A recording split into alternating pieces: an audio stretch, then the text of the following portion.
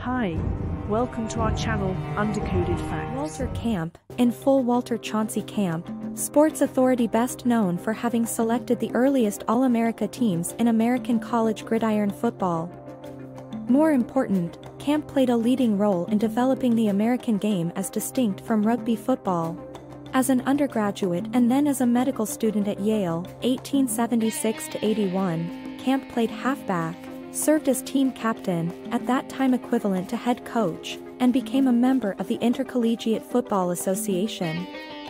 From 1880 this ruling body accepted various innovations proposed by Camp, the 11-man team, the quarterback position, the scrimmage line, offensive signal calling, and the requirement that a team give up the ball after failing to advance a specified yardage in a certain number of downs, plays from scrimmage. In 1883 he secured the adoption of a scale of numerical values for scoring by touchdown, point after touchdown, field goal, and safety. Although he was an executive of a watch manufacturing firm from 1883, Camp coached the Yale football team from 1888 through 1892, his teams winning 67 games while losing only two. From 1889 through 1897, Camp and Caspar Whitney collaborated in choosing the annual All-America football team, an idea that seems to have originated with Whitney.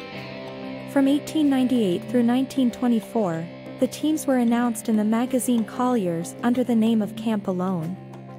On his death he was succeeded as All-America selector by the noted sportswriter Grantland Rice.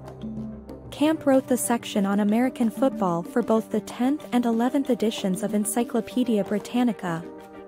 In 1951 he was in the first class to be inducted into the college. Thanks for watching. Hope you like. Kindly like, share and subscribe to our channel for more.